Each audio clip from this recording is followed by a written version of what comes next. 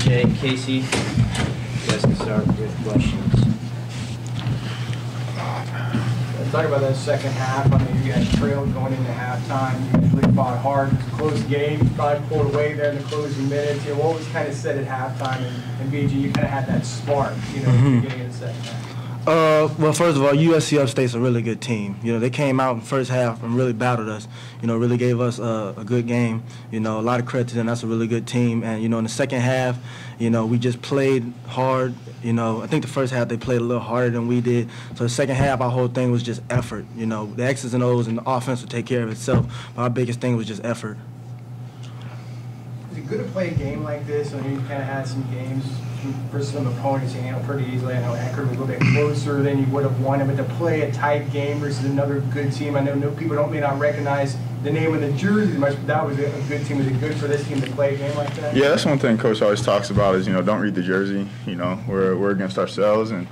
I mean, that's a really good basketball team, and uh, I think the great divider that you know was big for us is we held them to only three threes um, in the second half. And coach always talks about in college basketball, you know, that's that's the shot that will keep uh, you know teams in games. And to take that away from a good as shooting team as they are, it's you know that's that's huge in our win. To, to take away the three, what did you guys do? Did you change anything defensively in the second half, or just you know focus a little bit harder on defense? Or what? Nah, it was just effort. You know, the first half we were just being a little lazy, not fighting over some screens. You know, biggest thing in the second half was just effort and playing harder more than anything.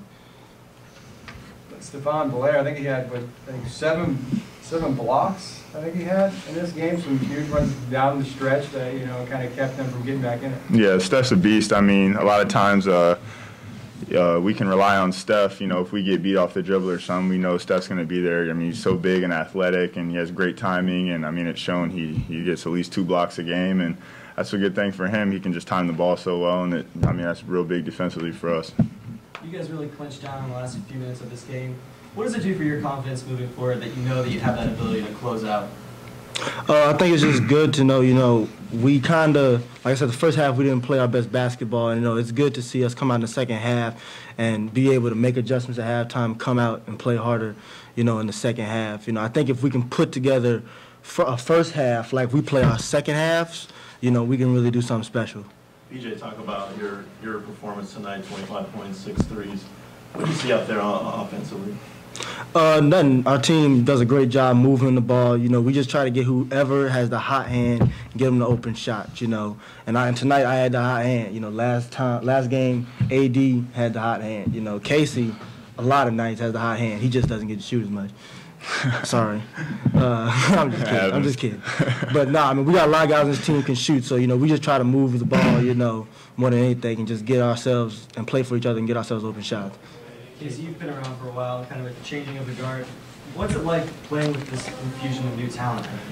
I mean, they're so young, and it's crazy that they do things that, you know, seniors are doing. And, uh, I mean, he's like, I told him the other day, he's probably the best point guard I've ever played with, you know, all around. He can score 25 points, get a six assists, and eight rebounds. It's just crazy. He does it all. And just playing with him is, he makes the game easy for us because he draws so much attention. And all I got to do is just wait to get the ball and, you know, shoot it and get him an assist if I can. So that's it's just so easy playing with these young guys because they mesh so well and they got all got good attitudes and it's been really fun.